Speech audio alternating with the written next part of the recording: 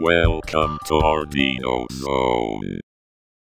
Bienvenue sur OrdinoZone, chers amis. J'espère que vous allez bien. Avant toute chose, n'hésitez pas à vous abonner à la chaîne parce que beaucoup de personnes, je le vois dans les stats, viennent sur la chaîne sans être abonnés. Bien sûr, vous pouvez le faire, mais c'est beaucoup euh, plus avantageux de vous abonner. Ainsi, vous serez toujours au courant de l'actualité de la chaîne. Si vous cliquez bien sûr sur la petite clochette de notification, c'est très important. Alors ici, on cause d'informatique. Je vous fais des tutos sur tout l'univers de l'informatique et aujourd'hui, regardez, moi, je suis avec Windows 11. Et oui, on pensait que Windows 10 serait euh, la dernière version de l'OS de Microsoft, eh bien que nenni, ils sont arrivés un peu de nulle part avec ce Windows 11. Alors moi, ce que je vous montre ici, c'est sur euh, machine virtuelle.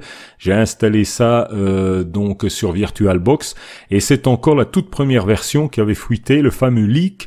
Euh, je sais que depuis, il y a moyen d'avoir d'autres versions. dans de prochaines vidéos, eh bien, j'explorerai également ces versions. Alors voilà, nous avons ici un euh, fond d'écran, voilà, qu'on n'avait pas encore. Et puis, euh, ce qui change ici, bah, c'est ceci, hein, c'est la barre de menu euh, qui se retrouve au centre. Vous pouvez bien entendu avoir également l'affichage classique que moi ici je ne sais pas vous montrer parce que sur cette version que j'ai téléchargée, eh bien, je n'ai pas les droits à ce niveau-là pour pour faire ce genre de changement. Alors, c'est clair que de cliquer ici et d'avoir donc ici, euh, hein, vous voyez, tout est euh, avec des petits angles ici arrondis, tout est dans l'arrondi. On a directement ici toutes les applications, vous voyez, All Apps.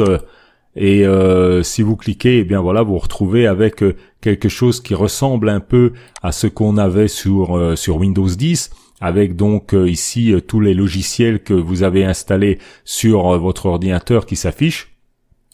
Voilà, on peut, on peut revenir en arrière. Vous avez Microsoft Edge, vous avez Mail, le calendrier, le fameux store, photos, les euh, réglages, etc. Donc euh, tous les petits gadgets qu'on euh, utilise d'habitude. Donc ben voilà, ça ça nous change un peu. Hein. C'est clair que que c'est vraiment quelque chose de d'un peu nouveau à ce niveau-là. Vous le voyez que c'est un design très très épuré. Ben ici sur avec Virtual Machine, ça marche assez bien. Voilà, c'est ce que je peux c'est ce que je peux constater. Donc pas trop de soucis à ce niveau-là. Donc euh, ici notre fameux bouton Start donc qui se retrouve au milieu. Nous avons ici Search, nous avons ici Task View hein, donc euh, pour euh, changer bien entendu ici de bureau à volonté, aucun souci à ce niveau-là. Voilà, après vous naviguez ainsi très facilement desktop 1, desktop 2, aucun souci. Ici, ben voilà, on était dans l'explorateur de fichiers, donc ben, qui finalement reste assez classique. Donc voilà, nous avons ici le fameux Microsoft Edge et nous avons le Store Microsoft. Je ne suis pas certain qu'il va fonctionner.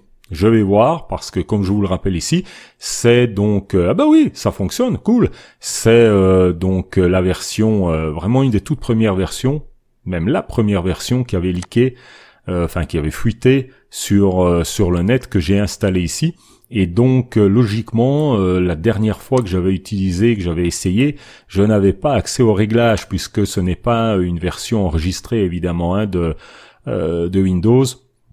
Donc je ne pouvais pas, par exemple, personnaliser. On va voir. Je pense pas que ça que ça ait changé depuis. Donc au final, ben voilà, qu'est-ce que voilà, vous voyez, je n'ai pas les, j'ai pas accès ici aux, aux différents réglages.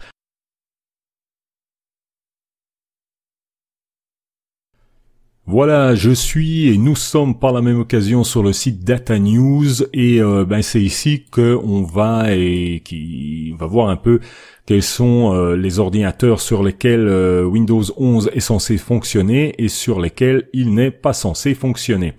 Alors voilà, ce message d'erreur apparaît donc euh, du fait que votre PC ne satisfait aux exigences minimum, minimales, qui sont CPU Beaker, euh, cadencé 1 GHz, 64 bits, 4 Go de RAM, 64 gigaoctets d'espace de stockage et TPM 2.0 ou à tout le moins la version 1.2. Et c'est ce fameux TPM, c'est pas touche, touche pas à mon poste, hein, c'est le TPM, c'est l'acronyme de Trusted Platform Module.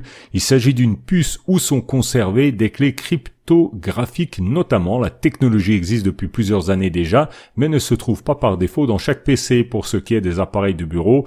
Euh, auto-construit, il est par exemple possible d'acheter séparément une puce TPM même si elles sont devenues rares depuis l'annonce de Microsoft, pour les ordinateurs portables, cela dépend du modèle. Mais pour autant que l'on sache, TPM semble bien être une exigence, mais pas une nécessité absolue pour faire tourner Windows 11 sur un PC ou une machine virtuelle. Ben déjà sur la machine virtuelle, je vous confirme que euh, je vous confirme que j'en ai pas eu besoin, puisque je l'ai installé très facilement sur VirtualBox.